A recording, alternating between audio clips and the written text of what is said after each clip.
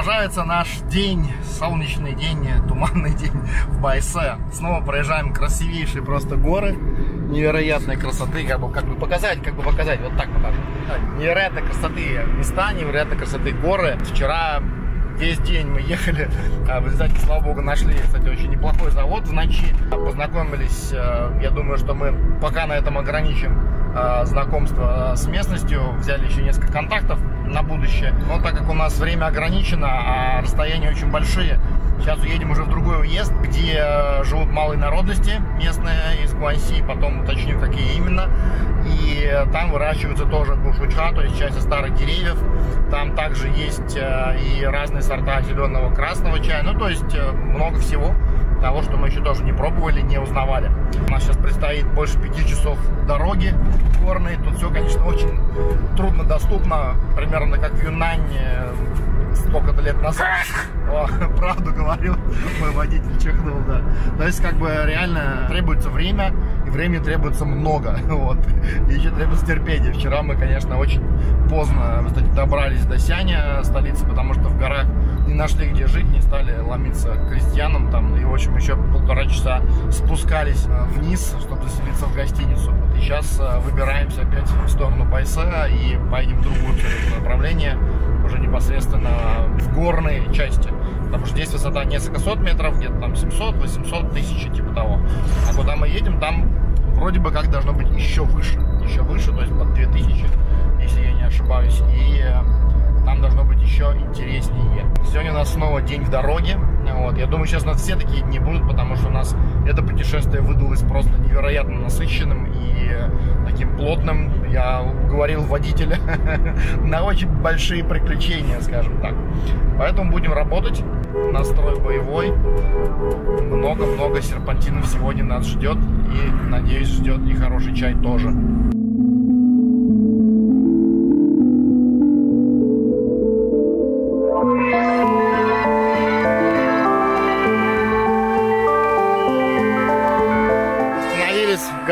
Дороге решили посмотреть на мед. Продают мед. Очень интересно посмотреть, какой же тут будет мед. Вот это улики. У меня есть один друг, который просил мне найти лао мед, состаренный мед. Будет смеяться, но это реально такой мед есть, и он считается крайне ценным. Не знаю, есть ли он этого товарища, но мы попробуем узнать. Нет у них старого меда, если у них только молодой. Ладно, еще спросим. Вот, здесь, конечно, они очень дорого продают. Но банку 150 юаней. Ну, то есть это дороже, чем у нас в России, наверное, заметно дороже. Но мед бывает очень неплохой высокогорный. У них это более раритетный продукт, и его не так много, как у нас производится. Наше Discovery путешествие продолжается. Приехали пообедать, потому что мы сегодня не завтракали, что-то прям с утра поехали наш водитель крайне нетрадиционен. Он часто с утра вообще не хочет завтракать. Говорит, поехали, все, давай. Ну, в принципе, в нашем стиле это здорово. Сейчас мы уже свернули со скоростной трассы э, на деревенскую дорогу. И вот первое, что мы, естественно, сделали, решили пообедать. А сейчас ждем, пока нам приготовят нашу еду. Такая вот обычная кафешка, забегаловка. Ну, все как обычно холодильник, выбрали себе овощей и поедем скоро дальше. Тут на стоянке тоже мужчина покушал. Он, кстати, тут забавная история, сейчас покажу. Водитель э, спит, отдыхает в грузовике и везет он двух больших валов. Вот такие прям настоящие буйволы с рогами. И уже тут очень много малых народностей, много женщин, которые носят э, традиционную одежду.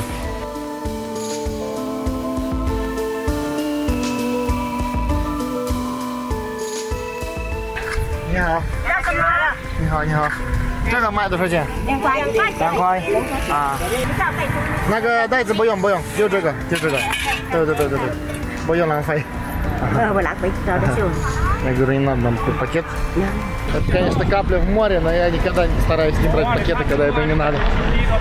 В последнее время, чем больше, тем не знаю, так когда вижу весь этот трэш, весь этот мусор, особенно в Азии, конечно, жестоко бананчиков купили. 7 юаней, 70 рублей. Такая пачка. Не знаю, дорого, дешево, но бабушек поддержали.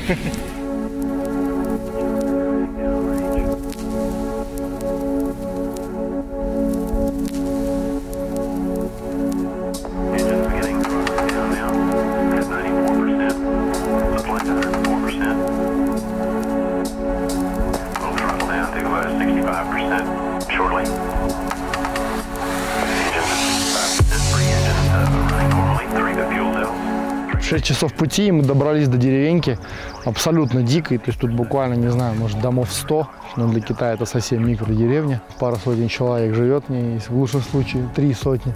И здесь э, в свое время э, делали чай э, с вот таких вот кустов дикорастущих и также еще с кустов, которые есть вот тут в горах, уже побольше даже деревьев. Мы сейчас, думаю, попозже постараемся выделить время, раз мы сюда приехали, тоже сходить.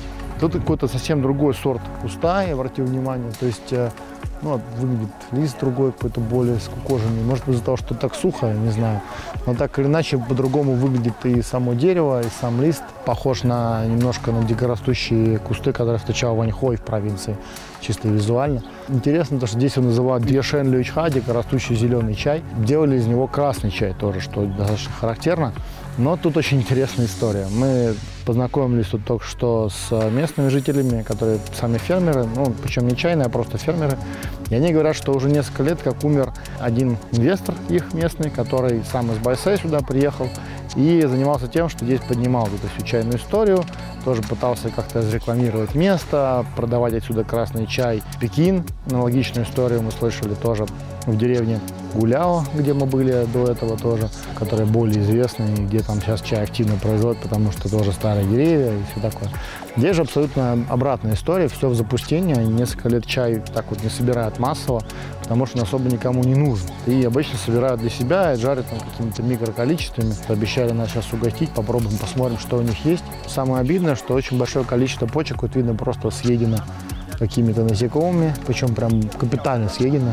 Это говорит о том, что, конечно, чай ничем не удобряют, сто процентов, но и при этом еще о том, что он никому не нужен, и его никто не собирает. Собственно, такая грустная картина. Здесь вот я вижу, наверное, кустов, может, штук, штук 10-15, вот, растут а в основании, некоторые из них достаточно толстые, то есть, может быть, даже и сотни лет есть, некоторые, может, меньше. А, но собирают их давно и в основном так вот для себя, как-то так, чтобы чай был на продажу или что в каком-то количестве. Тут этого уже достаточно давно нет. Но это достаточно такое интересное явление. Первый раз сейчас такое встречаю в Китае, чтобы чай дикорастущий и при этом особо никому не нужный, это не востребовано. Так что сейчас будем общаться с местными, может что-то новое узнаем, может будем договариваться, чтобы они для нас сделали, особенно если договоримся, что это было бы не слишком дорого, если он никому не нужен.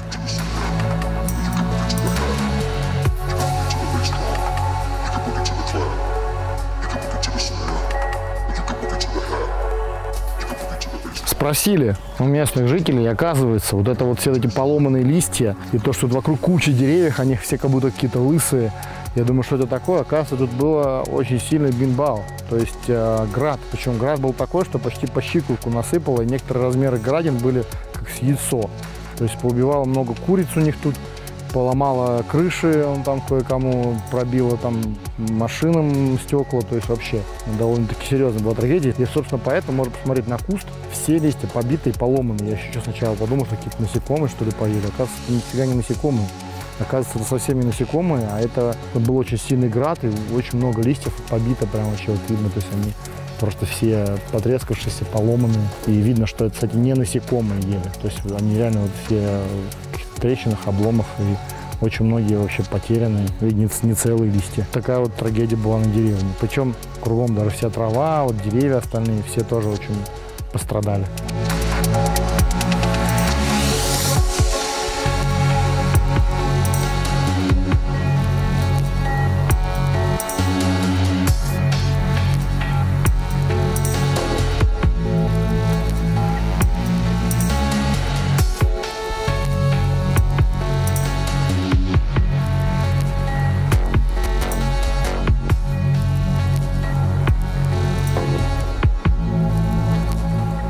Мы пришли в гости.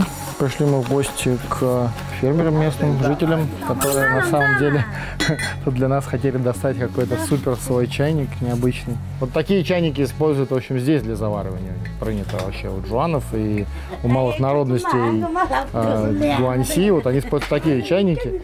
И вот такие большие чашки. Вот, а это всю нашу вот фигню, которую тут принес, для, это для них довольно-таки непривычно и необычно. Поэтому моя вся посуда с собой.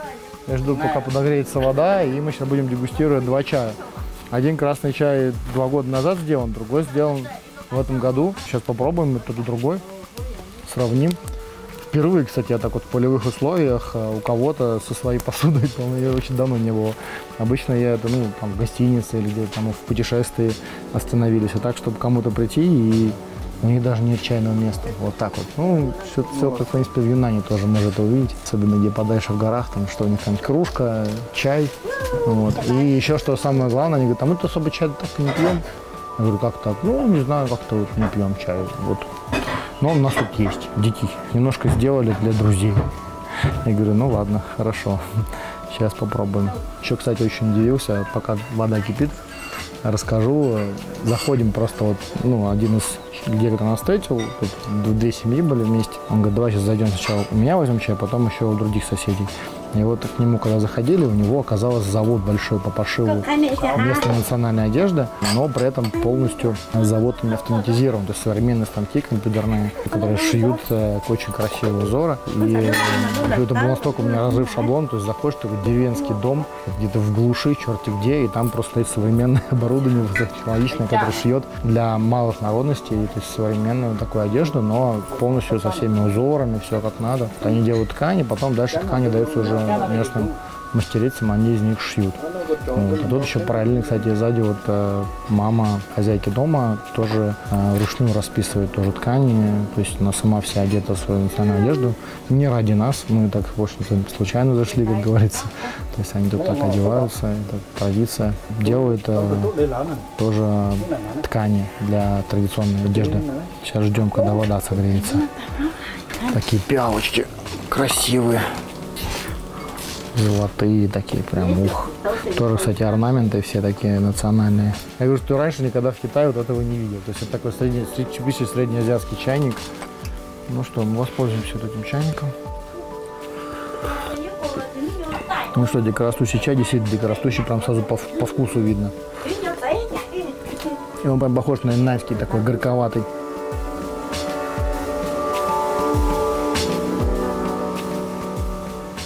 Говорят о том, что э, чай сделали для себя, и поэтому никто не заморачивается технологией производства. В принципе, может попробовать сделать что-нибудь хорошее. Нравятся мне эти контакты здесь, то есть только тут все дико, никто сюда не приезжает, но есть дико растущие чайные деревья.